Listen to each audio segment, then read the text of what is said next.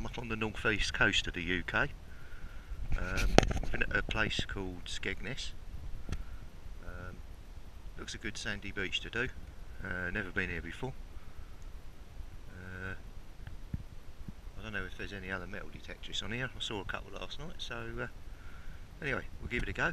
Pier doesn't even go into the sea, so that's an interesting structure. So right, I'll get set up and uh, hopefully be back with the first find. This is why you detect under piers. Um, I'm underneath that pier you saw earlier, it doesn't seem to go anywhere. Just that uh, nice find in the bottom of the uh, thing there, just down there, uh, sort of just in front of these uh, these pylon things. So, right, we'll carry on, see what else we can find. Like uh, quite a little productive area under the pier here. Just got myself a 2p in the scoop, but that was really deep. That was probably about six inches down. Um, and the 5p was over there, probably about two inches down. So stuff's definitely falling through the floor. So I'm going to wander up here, underneath here. If I can try and get up to right to the end there, that's where all the amusements are. Might find some stuff. Also looks to have been a nice cut wandering along this beach here. So I'm going to give this uh, area down here a go as well and see what's come and been washed out as well. So um, yeah, only day one, but so far quite impressed. Okay, back soon. Just had a nice uh, 50 pence piece, literally about an inch down, obviously fallen through the floor.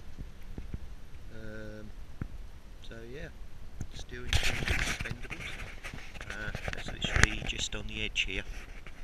Um, so I'm going to run down under that ledge there, see if there's any fall, falling down the side of the pylon. But this little patch here um, looks to be just a good little spot actually. Um, I'll try and do the next one there as I said, see what else I can find under there if I can get my head under there. Right, onward. Right, now just had a modern 20p. As you can see through the slats at the top there, if you drop anything on the pier, it's just straight down and into the sand, which is good for me. Okay, let's carry on. Right, just had uh, another 5p, a uh, little modern coin. But again, still under this pier. It's just brilliant. I'm hoping the nearer I get to the amusement, the more coins I'm going to find. So right, on we go. Uh, right, modern 10p this time. Um, literally just there. So yeah, definitely doing well on the old finds. A just walked past me here wasn't very observant because if you look there it's just a coin laying on top of the sand. 2p piece. So, still working along this cut here. I've done up under the pier there. Um, you've seen most of the coins I've found. So I thought I'd do this bit of the pier here, where it uh, goes out into the sea, see what we've got there. So, uh, tide's coming in, so I'm going to get my finger out. Right, back soon. So if you can see that laying down there in the that is uh, 20 pence piece. Been there for a while, so I'm going to spiral out from here. Watch my first spiral, and we'll see what we can find. And this is why you spiral out. Dead centre of that spiral there, 20p. Got over to here, 1p. I would have missed that had I not done my spiral. Right, I'll continue going.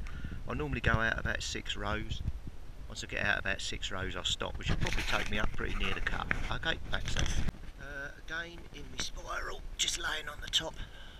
Uh, very old coin there, I don't know what that is, that's been there some time. I think that's probably a 2p, but I'll have to clean it up when we get back. Right, that's just on the top. Okay, continuing round.